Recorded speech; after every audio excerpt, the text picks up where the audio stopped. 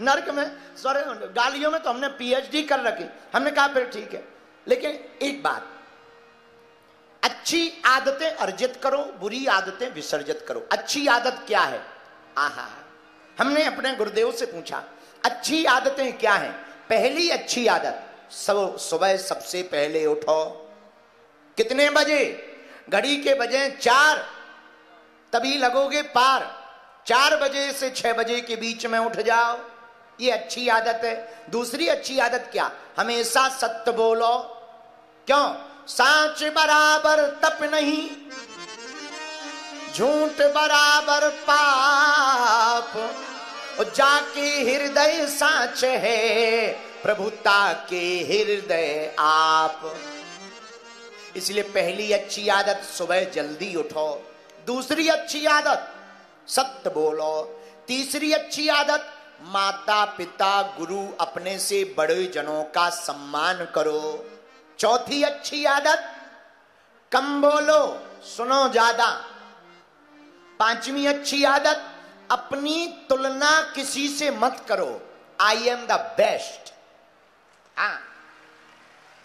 हम अपने आप में ही बढ़िया हैं। अपनी तुलना किसी से मत करो अगर सफल होना है। ये पांचवी अच्छी आदत है। छठवीं अच्छी आदत क्या? छठवीं अच्छी आदत है, काम को पेंडिंग कम डालो, निपटाओ। और सातवीं अच्छी आदत, किसी का बुरा करना है तो एक दिन बाद करो और किसी के साथ अच्छा करना है तो तुरंत करो, ताकि बुरा टल जाए और अच्छाई बनी रहे। आठवीं अच्छी आदत आठवीं अच्छी आदत यह है, स्वयं संस्कारवान होकर दूसरों को भी संस्कारवान बनाओ। नौवीं अच्छी आदत, प्रतिदिन भगवान के द्वार पर जाकर भगवान को धन्यवाद दो। किस लिए? मुझे तुमने मालिक बहुत कुछ दिया है, तेरा शुक्रिया है। तेरा शुक्रिया भगवान को धन्यवाद दो। मुझे तुमने मालिक बहुत कुछ दिया है। तेरा शुक्रिया है। बाबा। तेरा शुक्रिया है। भगवान ने क्या क्या दिया? ये जर जात दी है। ये औलाद दी है। ये जर जात गाओ गाओ गाओ। है।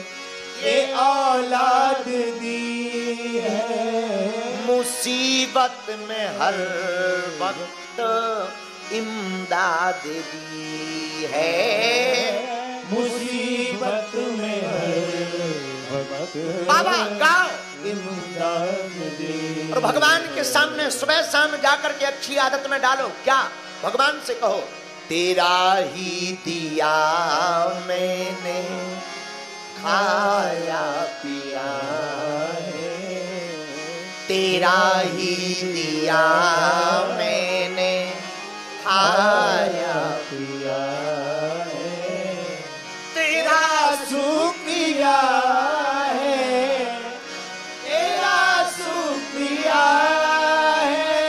से दोनों हाथ उठा के बोलो तेरा सु शुक्रिया है हाँ हाँ हाँ तेरा शुक्रिया है।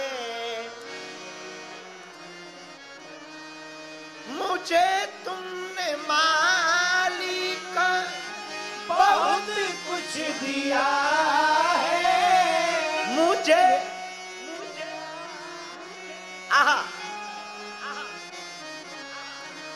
इसलिए तेरा शुक्रिया है। प्रभु, तेरा शुक्रिया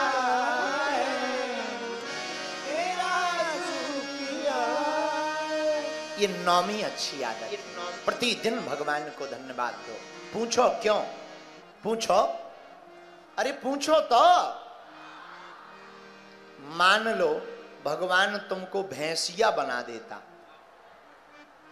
या घोड़ा बना देता, का होता? बंधे होते कि नहीं? अच्छा मान लो, भगवान तुम्हारी दोनों आँखें निकाल कर भेज देता तुम्हें। तो दुखी रहते कि नहीं रहते? भगवान की कितनी कृपा है। दोनों आँखें दी, दोनों कान दिए, हाथ दिए, इसलिए प्रभु को धन्यवाद दो। मुझे तुमने मालिक बहुत कुछ दिया है। तेरा शुक्रिया हाँ। हाँ तेरा शुक्रिया जो भी आदमी सुखी पाना चाहता दिल्ली के पागलो याद रखना आदमी वो दुखी है। जिसे जो पाना है और मिले ना तो दुखी रहेगा। जिसे जो पाना है और वो प्राप्त हो जाए तो आदमी सुखी रहता है।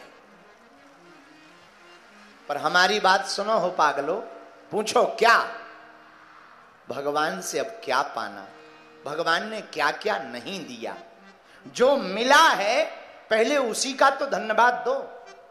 जो मिला है, उसी का तो उपयोग करो।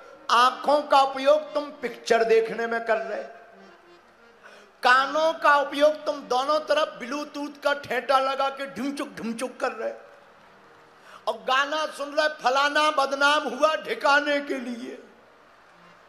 मुँह का उपयोग तुम गालियों के लिए कर रहे पैरों का उपयोग तुम ऊटी शिमला घूमने के लिए कर रहे हाथों का उपयोग तुम चोरी के लिए कर रहे और कहते हो, महाराज, कृपा नहीं हो रही ठटरी के बरे नक कटा क्या भगवान तेरे घर के अंकल जी है। अरे, जो दिया है, पहले इसी का तो सदुपयोग कर, आँखों से क्या देखो? संतों को देखो। कानों से क्या सुनो? भगवान की कथा को सुनो। पैरों से क्या करो? तीर्थों में जाओ। हाथों से क्या करो? दोनों हाथ जोड़कर सबको नमस्कार करो। मुख से क्या करो? सीताराम जपो।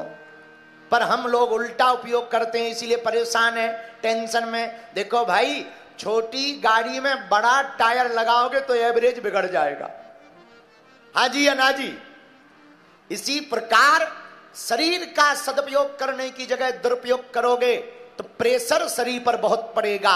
अगर अपने का सदुपयोग करोगे तो टेंशन फ्री रहोगे, क्योंकि जब मेंशन भगवान की भक्ति हो जाएगी तो तुम्हें कोई टेंशन नहीं रहेगी, सदा अटेंशन में जीते रहोगे।